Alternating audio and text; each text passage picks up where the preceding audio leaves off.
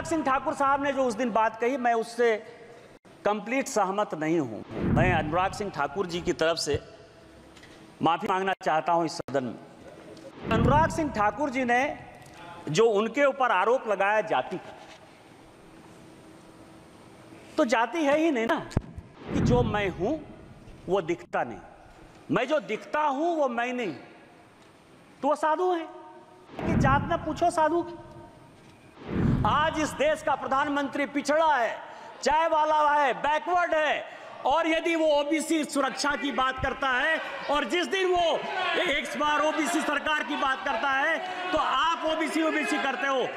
मैं जवाब पूछना चाहता हूँ कि आप ये बताइए कि इस देश में कई एक ऐसे लोग हैं, कई एक ऐसे लोग हैं जिनको की धर्म में आस्था नहीं। कई एक ऐसे लोग हैं जिनको जाति में आस्था नहीं है। वो अपना किस तरह से जातिगत जनगणना करेंगे?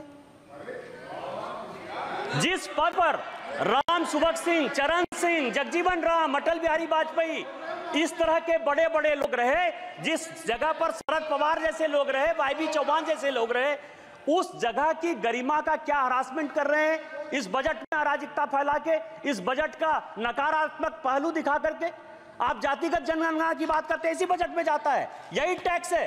इसी टैक्स के आधार पर जाता है। और पूरा का पूरा जो मैनिफेस्टो है उन्नीस से लेके 1990 तक पूरा असेसमेंट किया।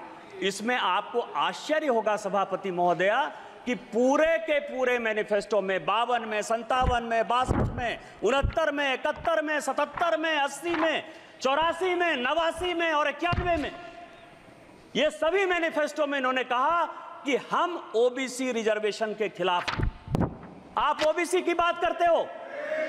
मध्य मध्य प्रदेश में, आज तक, मध्य प्रदेश में, आज तक कांग्रेस ने एक ओबीसी को चीफ मिनिस्टर नहीं बनाया। उत्तर प्रदेश में कांग्रेस ने आज तक ओबीसी को चीफ मिनिस्टर नहीं बनाया।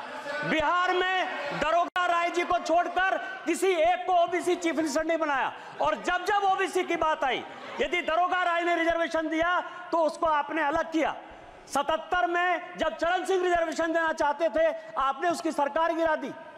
आपने नवासी में बीपी सिंह की सरकार गिरा के चंद्रशेखर का आपने सरकार बना दिया। और जब गुजराल साहब ओबीसी जनगणना कराना चाहते थे तो आपने संतानवे में उसकी सरकार करा दी।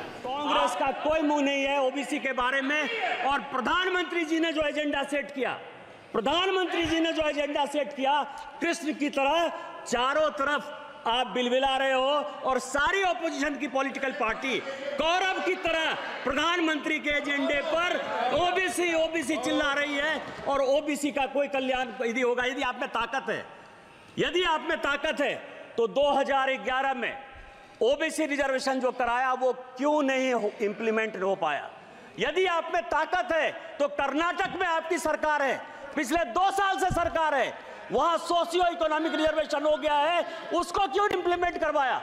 इसलिए नहीं करवाया कि इस्लाम और क्रिश्चियनिटी दो ऐसे धर्म हैं जो जाति की बात नहीं करते हैं और उसमें छियासी जाति क्रिश्चियन की और छप्पन जाति मुसलमान की।